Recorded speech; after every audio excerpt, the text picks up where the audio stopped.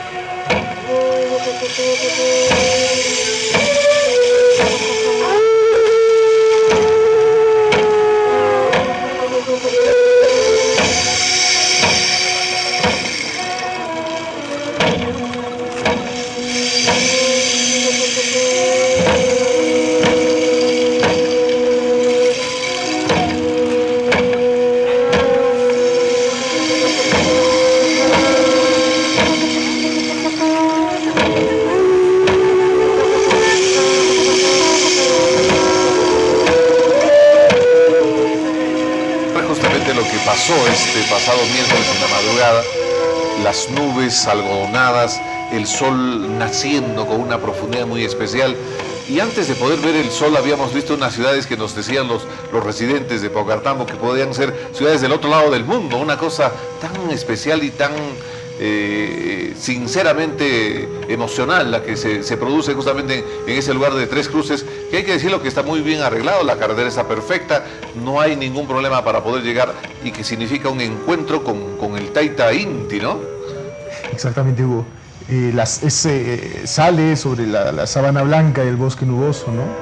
Es en los Andes orientales, la, nubosidad que viene de la Amazonía, el sol que sale entre las nubes, es una imagen preciosa, ¿no? Eh, yo tengo sentimientos encontrados cada vez que voy a ver este lugar.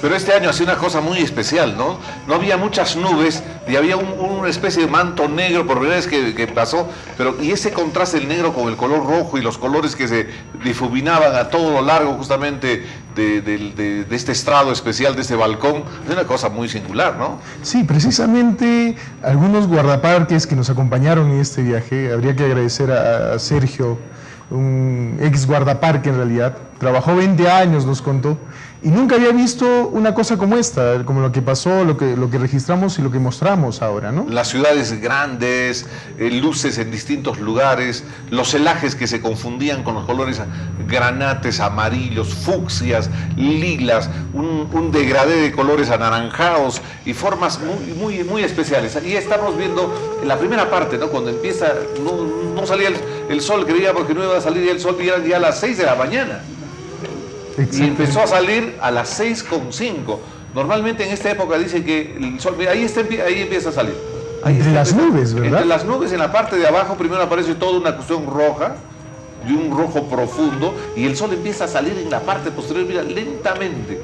Ahí los ojos del, del ciudadano simplemente puede apreciarlo, es la primera vez que uno puede ver de frente al sol es el momento preciso que el sol no daña absolutamente nada de la vista, ¿no? Exactamente, y tú sabes que este fenómeno solo pasa en dos partes en el mundo. Nosotros tenemos el privilegio, ¿no?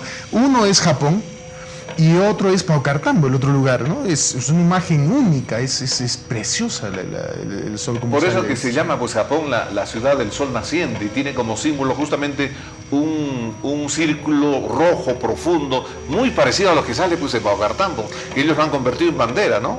Exactamente. Ahora nosotros eh, lo estamos acercando un poco hacia, hacia el público también, ¿no? No mucha gente conoce esto, pero debería promocionarse porque es un espectáculo bellísimo y además que no solamente sale en esta fecha, ¿no? Los meses anteriores, los posteriores también salen, entonces es un lugar para visitar en cualquier momento, o casi en cualquier y momento. Y habría que decirles de que no hay ningún problema, la carretera se encuentra en perfecto estado, hay un mantenimiento muy especial, hay que felicitar a las autoridades y, creemos nosotros de que ese, ese, ese, ese momento de encuentro tienen que hacerlo muy temprano, tienen que salir aproximadamente a la una y media, dos de la mañana para llegar, porque antes de que, de que se salga el sol hay una serie de hechos que se presentan como estrellas fugaces, por ejemplo, un, concierto de estrellas fugaces, luego se puede ver hasta objetos voladores no identificados. Se ha comprobado, tenemos, nos van a traer el video de un, de un momento que en el Inti Pacare apareció un objeto volador que no se entendía de qué. Hemos visto nosotros también un objeto que transitaba durante un, un sector, dijimos, era un satélite, pero después desapareció.